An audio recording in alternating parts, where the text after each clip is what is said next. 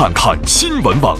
今年的六月五号到六号啊，天空当中呢将出现大名鼎鼎的天文奇观，叫金星凌日啊。届时呢，酷似黑痣的金星将慢慢的掠过太阳，演绎迷你的日食。如果说错过了这次观测的良机的话，那么下一次金星凌日呢，就要等到一百零五年以后的二一一七年了。金星凌日现象发生的原理和日食差不多。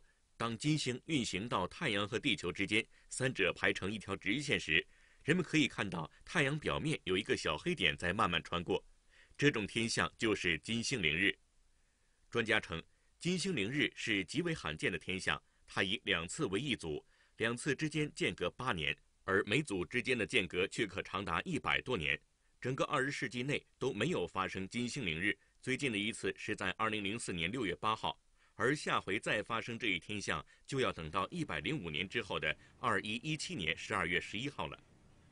此次金星凌日的最佳观赏地点位于亚洲和太平洋周边地区，这些地区的人们可以在当地时间六月六号观看到金星凌日现象的全过程。